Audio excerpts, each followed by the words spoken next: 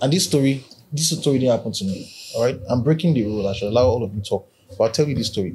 So I had a particular colleague of mine who was okay. So it was, I think, it was in his last year. It was in last year in medical school. He had a younger brother that was into IT also. His younger brother was doing some transactions with a particular organization, and each time they had to come and pay, they would accompany him on Allen Avenue. They would post two policemen with guns to accompany him because they couldn't. If you knew back then, Allen Avenue, there was traffic issues and all that. So the guy always came into a bank. His younger brother would always come into the bank, all right, with two policemen with guns, accompanying him to carry the Ghana must go. Because they hmm. couldn't put it in the vehicle and they could not put it on Okada, so the Okada man does not take off. So they will manually carry Ghana must go, like 8 million or whatever, in Ghana must go, two, three Ghana, and then he will carry it into the bank. So the lady knew his younger brother, always making cash deposit. Then she knew him. She was working in the bank. He was using that particular bank. So when he goes back then, you would go to the bank, you would tell them, before they started sending alert, you tell them, please, how much do I have? You write your account number, they will check for you and they will tell you your balance. Okay. So he started toasting the girl. He was in final year med school. The girl was working in the bank. And then she looked at how much he was earning all that. She laughed at him. she kept laughing that, no, no, no. So eventually he finished, graduated, then he started working.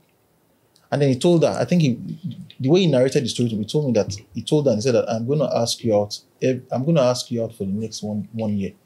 You, at the end of one year from today, if you still see me, that's the end of the relationship. I will never ask you out.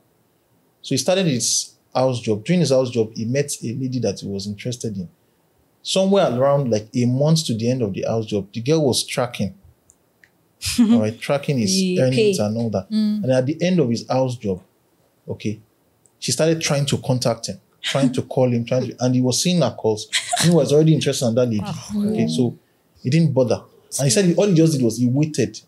Okay, and then on the on the the last day, all right, about some people can be so dramatic, 30 minutes to four o'clock. he. He said he was at the bank that last day, walked into the bank to go and make a transaction. So and then the girl was like, I'm trying to reach you and all. I said, Yes, this, this, this. How are you doing it?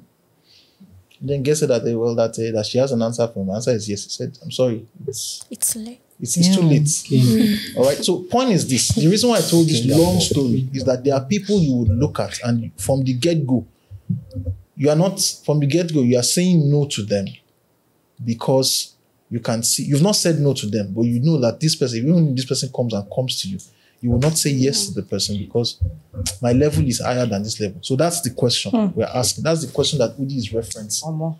So hmm. the question, can you rephrase the question to them? With my story now, can you rephrase the question to them? We want to also help young men so that they won't waste their time.